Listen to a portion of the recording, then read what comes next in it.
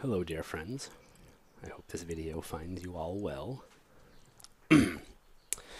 uh, and in this video, I'm going to show you something that um, I had seen happen before and didn't quite understand, and it took me a long time to figure. I don't, I don't even actually. I don't want to even say figure. I want to say it took me a long time to puzzle out exactly what what was happening here.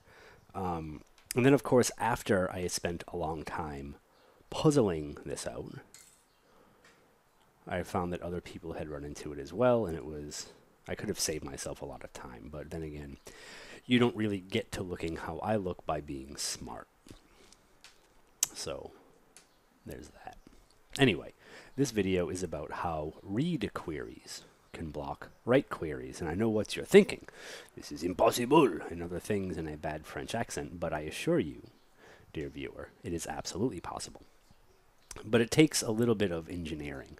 So what I what I have here is a store procedure that uh, selects some stuff from the votes table. Now over on the votes table, I have an incomplete index. This is not a covering index. This index is on creation date and vote type ID, which helps with my where clause, but not the column I'm selecting, grouping, or ordering by.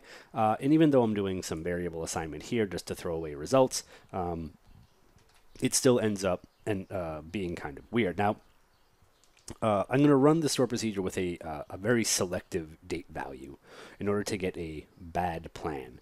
Now, this plan isn't actually bad, it finishes very quickly. But what it does is it sets up um, it sets up sets us up with an execution plan where we do a key lookup back to the clustered index of the votes table. We're able to do an index seek to locate rows that we want from our where clause, but we need to come back here to output the post uh, the post ID column from votes. Right. Cool. Now we're going to introduce a parameter sniffing issue. Now, this isn't this doesn't happen because of parameter sniffing. This happens because of a key lookup, but this is a really really great way to get a key lookup to run for a long time so that I can capture the behavior easily. This is partially done out of laziness more than um, it being important to the demo. So what I'm going to do is I'm going to uh, kick this off. I'm going to come over here. I'm going to start an update. I'm going to count to like three or so. And then I'm going to come over here and run SP who is active. I'm going to kill this because I don't actually want this to finish. I'm going to roll this back even though I don't think there's anything going on there. Now we can see over here that this this this query did finish, right? This store procedure did finish. We did we did run for about 10 seconds here. And over in the SP who is active window, we have something very interesting.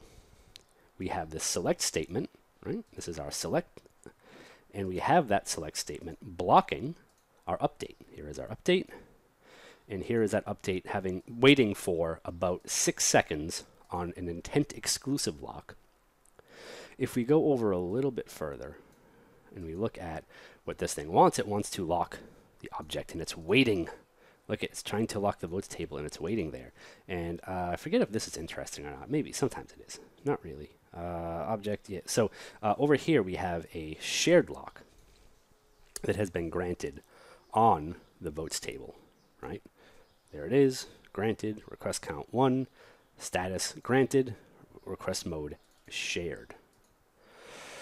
What this means is that we immediately get the rows that we want from the non-clustered index, or we, we get a row from the non-clustered index, and then we spend all that time trying to read data from the clustered index to output for the rest of the query. While we're doing that, we hold a shared lock on the clustered index. Under normal circumstances, another non-lookup circumstances, uh, I would call, I would say instead, under non-lookup circumstances, reads are taken and released very quickly as we read through the index. If we let go of that shared lock here and we let that update happen, there is the potential for returning incorrect data from one iteration of the key lookup to another right? Because if we let go of those shared locks and let's say that we were we were reading reading reading and something changed in the clustered index we could return we could return a, a, basically a mangled row of some kind. Um, it wouldn't like it would be I don't know like using no lock something other stupid thing. Um, yeah. So read queries, when they do lookups, can block write queries. You can see that right here. Here's the select blocking a write. If you out there in the real world uh, ever witness a read query blocking a write query, I will bet several dollars to several donuts that you have in, in the, the blocking read query uh, lookup in your plan. Now, there are some additional whoozy what's it, whoozy what's its to this uh, to this demo. So our query did a key lookup, which a key lookup is always implemented using a nested loops join. There is no way for a lookup right now to be implemented via any other join type. I don't see that changing, so I don't see any immediate relief from this. The nested loops join that was used in the query plan, which actually might still might still be up here if we go over. Yep, it is. Look at that. Beautiful. If we go to properties, with unordered prefetch is true. So we can see that over here. The nested loops join an, used an unordered prefetch uh, to get data from uh, the clustered index.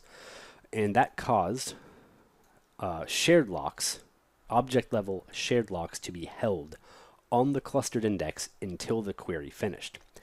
If I had waited, if I had, if I had waited that the 10 seconds out for that query to finish, then after 10 seconds, this would have started doing the update but we, we caught about six seconds of blocking with from between the read query and the write query here. So blocking isn't always just writers blocking readers. Sometimes readers can block writers as well.